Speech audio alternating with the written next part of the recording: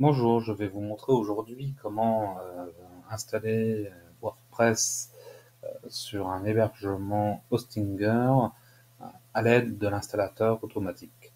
Donc une fois que vous êtes connecté à votre compte client Hostinger, vous allez donc ici dans hébergement et vous allez donc sur le, le nom de domaine ou le compte qui euh, correspond à, l'endroit où vous voulez installer donc votre WordPress.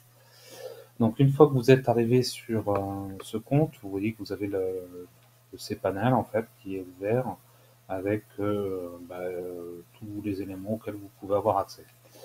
Donc vous allez descendre jusqu'à l'auto-installeur. Alors, euh, attendez, que je m'y retrouve. Se retrouve pas toujours. Alors, site web auto-installeur, il est là. Voilà, je suis passé devant. Et donc là, on va chercher WordPress. De mémoire, il est un peu plus bas. Voilà, il est là, WordPress 4.1. Donc, on clique dessus. Voilà. Et donc là, il vous demande euh, à quelle adresse vous voulez installer le site. Donc, euh, si vous utiliser le, nom de domaine normal, bah, surtout vous mettez rien derrière, sauf si, bien sûr, vous voulez l'installer dans un sous-dossier. Donc là, moi, c'est bah, un compte, un compte gratuit chez Hostinger. Donc voilà, c'est des noms de domaine de ce style-là. Donc la langue, vous paramétrez bien votre langue. Hein. moi, le français, c'est OK. Donc le nom d'administrateur, euh, vous mettez celui que vous voulez.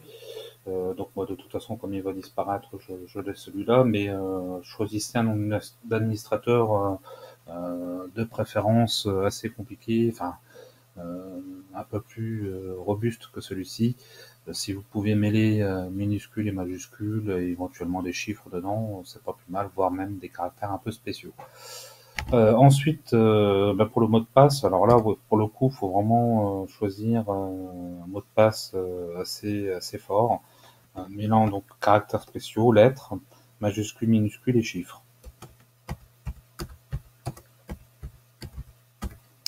Voilà, donc vous indiquez l'adresse mail à laquelle faire parvenir donc les, emails d'administrateurs.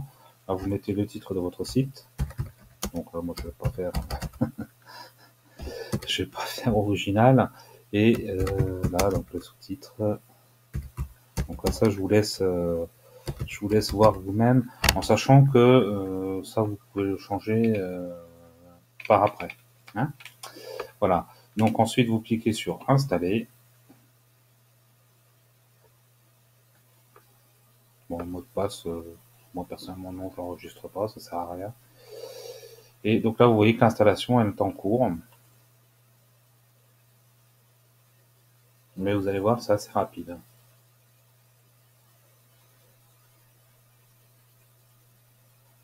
Alors après, euh, c'est vrai que je n'ai pas pensé, enfin moi je suis sur un compte gratuit, sur les comptes gratuits ça dure un peu plus longtemps.